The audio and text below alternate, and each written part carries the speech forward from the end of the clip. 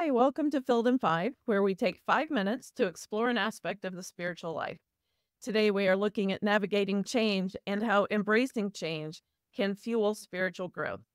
Life is a series of changes, each bringing its own set of challenges and opportunities. Change is inevitable. It's a constant in life that we cannot escape. Whether it's graduating from school, starting a new job, moving to a new city, or experiencing the loss of a loved one, each change marks the end of one chapter and the beginning of another. These moments can be disorienting and challenging, but they also present unique opportunities for growth and self discovery. The key to navigating change well is to find meaning in it. Embracing change rather than resisting it allows us to adapt and find new paths forward. It's about recognizing that every ending is also a beginning, and within each beginning, lies the potential for something meaningful. If you do one thing, do this identify your touchstones. What is foundational to you? Is it taking a walk, meeting regularly with friends, taking time to pray, meditate, or journal? Whatever it is that keeps you grounded, find a way to continue that practice. It will help you as you experience other shifts. There's an opportunity for personal and spiritual growth as you navigate change. Change forces you out of your comfort zone and pushes you to develop new skills, perspectives, and strengths. There are moments that challenge your resistance and test your ability to adapt. In these moments, you often discover things about yourself that you never knew existed. You learn to navigate uncertainty, to cope with loss, and to celebrate new beginnings. Growth is not always easy, but through the challenges accompanying change, you can connect more deeply with the divine and grow inwardly.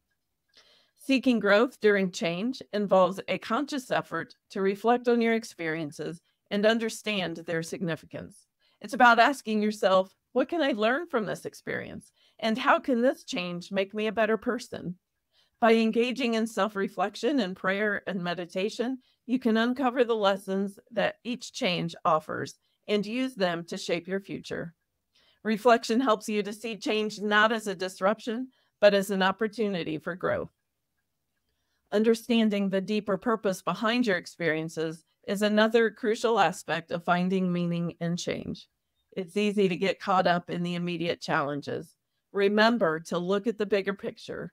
Each change, no matter how difficult, has a purpose in the grand tapestry of your life.